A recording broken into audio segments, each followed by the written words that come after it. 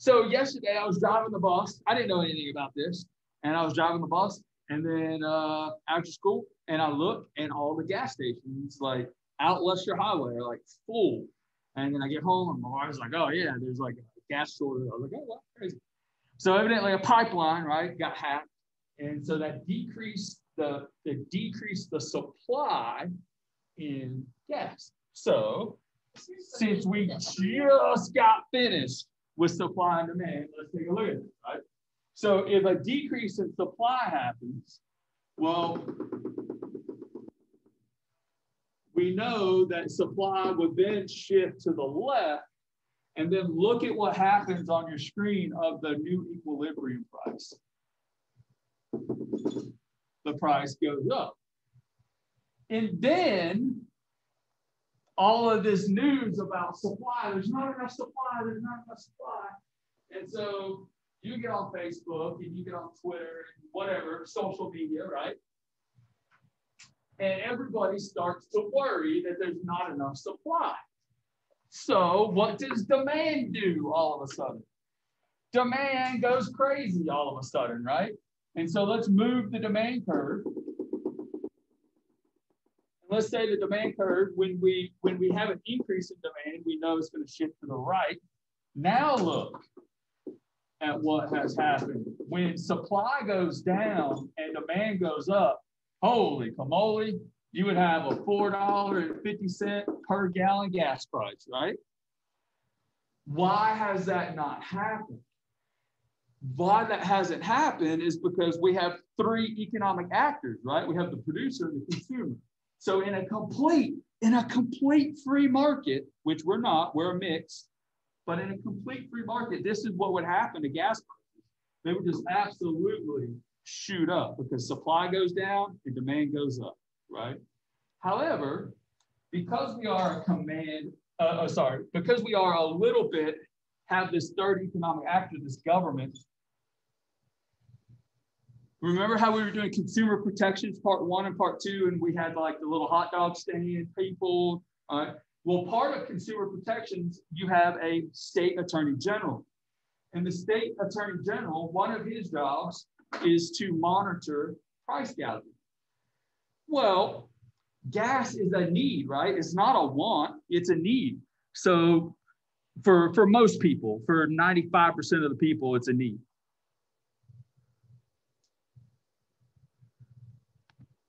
Yeah, so Cedric, you, you, had to go all the way to South Carolina and barely got down there. Perfect example, right? So if a gas station, if a gas station went to $4.50 today, because of supply and demand, would that be okay?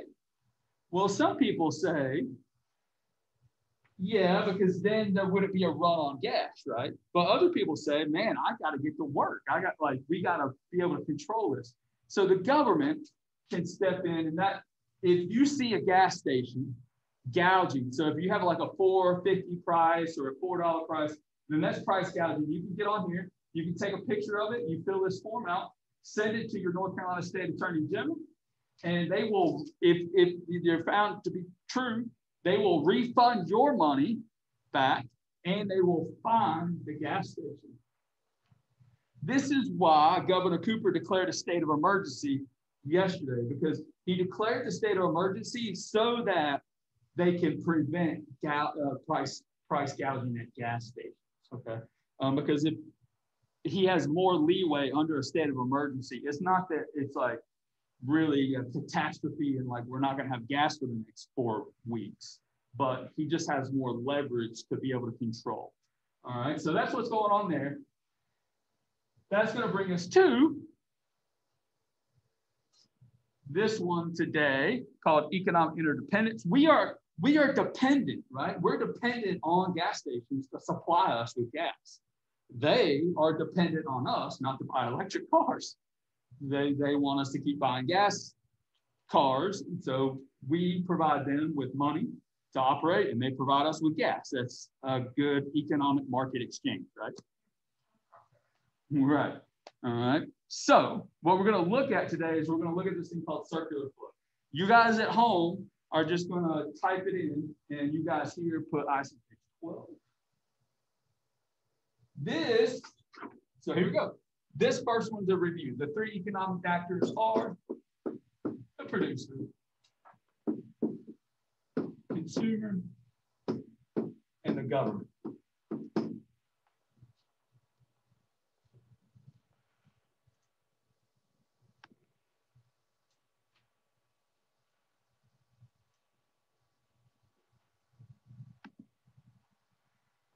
Each actor relies on the other two actors for the economy to function smoothly. This is called, you can just put that because that's what that's called, economic interdependence. We depend on suppliers to supply, producers to produce. Producers depend on us to consume. This economic interdependence between three economic actors creates a circular flow of economic activity.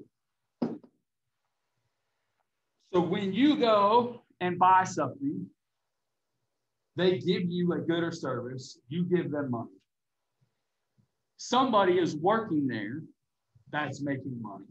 And then they use that money and they take it home and then they go out and buy something. And then that has uh, this circular economic flow. That's why this is what you're, you're going to be looking at this here in a minute on your screen. So you can see this circle. It looks complicated, but it's super simple, okay? So you can see here, for example, you have households. Here's the consumer. Here are the businesses supplying. And so you go and you work, right, in a business, and then they give you money. With that money, you go and buy stuff, right? And then they provide you a good. Very simple, right? Okay. So the question, and so that's called the circular flow of the economy. We want, we want this flow to be nice and steady because that means people have jobs, that means people are working, that means people that, that means goods and services are happening. If if it's really, really slow, then that means that goods and services aren't being produced, labor's not being produced, money's not being produced. All right. But also, if it's too fast, then that means we got too much flow. All right. And that's going to increase prices some bad things can happen there we'll look at tomorrow. So that's just the circular flow. So what we're going to look at today, though, is this thing called fiscal policy. See at the top of that diagram? Fiscal policy, we are going to be looking at the government. What does the government do with that right there? How does the government tax and spend your money? And who should the government tax? Should the government tax the producers or should, sorry, not tax, but tax breaks, or should the government provide tax breaks and incentives to households? Here we go. Did you see that big, uh, at home, you guys have this big blank. This is where you're going to draw what I just showed you. But I, I, I gave you the PowerPoint. We're not going to take time to draw it, but you'll draw it. Um, now, if you want to just get it, draw it on a piece of notebook paper, you can do that. But you're going to need to have that either right here in this space or on notebook paper, okay? All right, so let's go fiscal policy. Let's get some definition here. When the government decides whom to tax and whom to give tax breaks to, this is called fiscal policy. When the government provides large tax breaks or incentives to businesses, Whoa.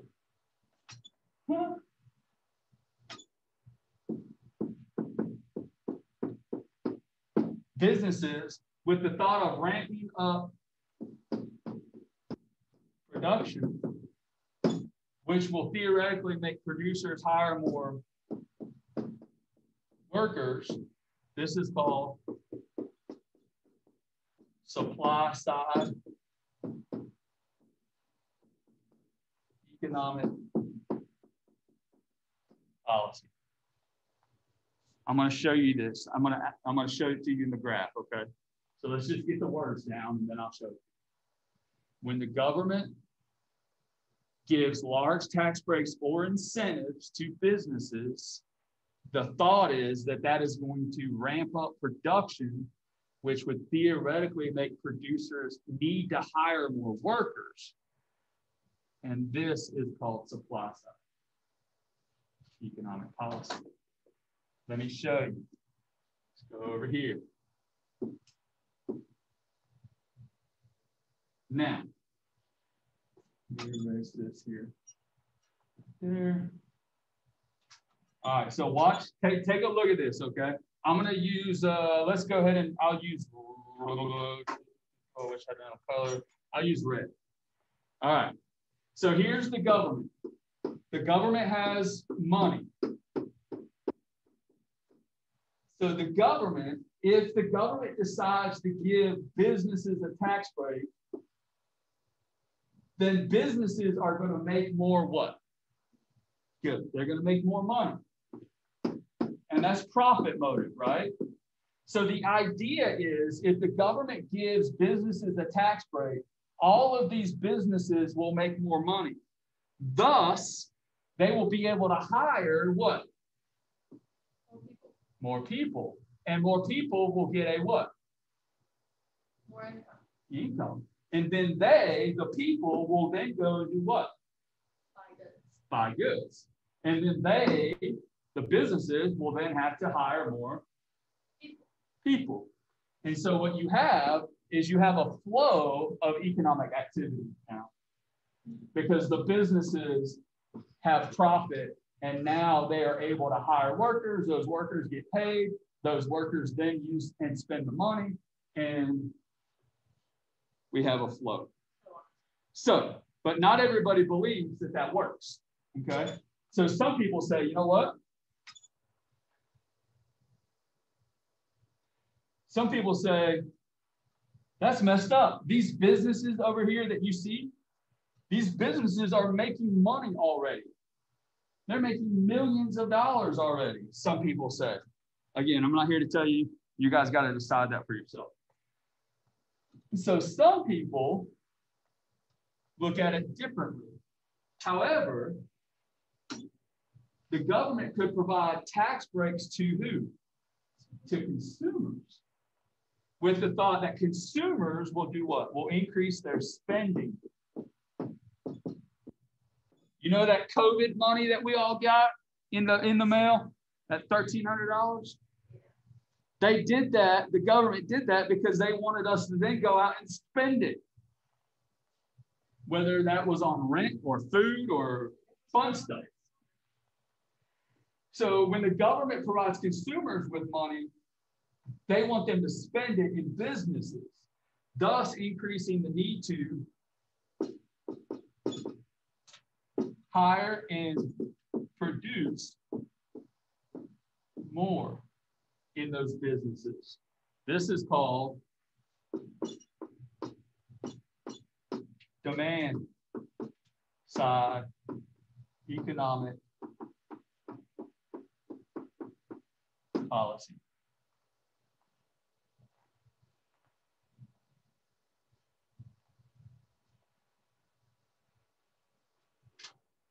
All right, let's look at that real quick. You're almost there. You're almost done.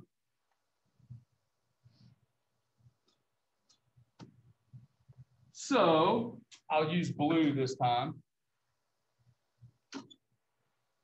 So if the government decided right here to give a household a tax break, and it doesn't have to be a tax break, okay? Let's think about some other things that the government could give a household. The government could give increased minimum wage, right? If you increase minimum wages, that would be demand side. If you give them food stamps, if you give them any type of welfare assistance, any type of program the government's going to give a household, right, then the household will have more money to do what with? Buy stuff with, right? Because now the government has provided some additional service to the household. Now the households will then go buy goods and services where? In the businesses. Thus, the businesses then would have to do what? Hire more workers and provide what? More money, more income to the households. Thus, the households will be able, all right, the households will be able to go and get a job now, all right, and then thus buy more stuff and then get more money. So the idea of demand side economics would be to give the households the money and let the households generate a circular flow of economic activity. All right. Now, again, not here to tell you what to believe. All right. You guys got to figure that one out on your own. So, and that leads me to the last point. And that is right here. Republicans in general, Republicans in general believe in supply side. While Democrats in general, not all, but in general, Democrats are going to believe in demand side policies. Republicans are going to want supply side policies.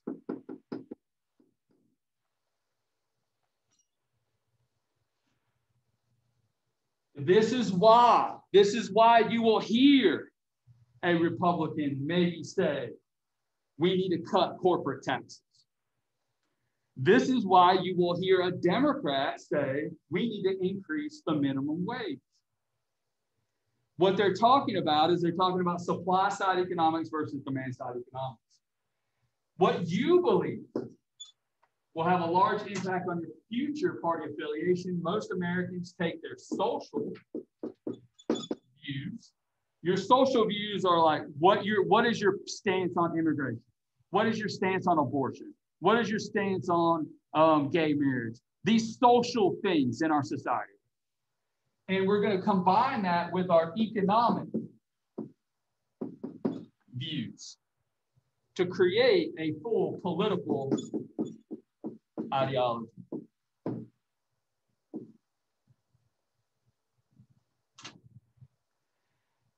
You remember, you are socialized. We were, we're all socialized at first. political socialization, right? Our number one influences are parents. However, there's lots of, there are lots of instances throughout our lives that is going to create this idea or beliefs about this economy should we help households out first so that they can help and, and get themselves out of poverty or whatever situation they're in? Or should they, we focus on creating jobs through making sure the businesses are healthy? What you believe there is largely part of your socialization process. So, what you're going to do, look at this short answer right here. Think of a time in which you interacted with these two theories, whether it was supply side or demand side.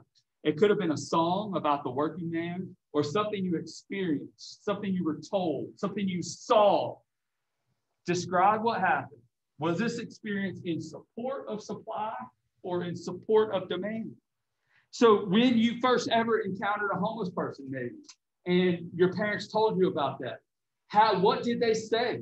Did they say, yeah, he's a bum, da da da da da, he needs to get a job? Because if, if they did something along those lines, then that would be supply side, right?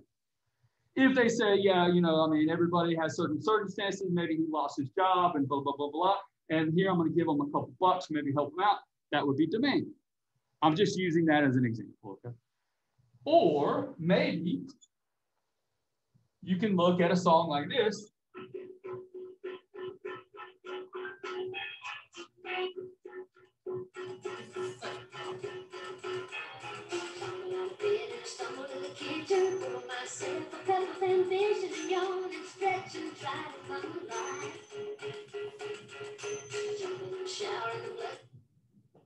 nine to five by Dolly Parton, or you could listen to a song like this. Five Sands.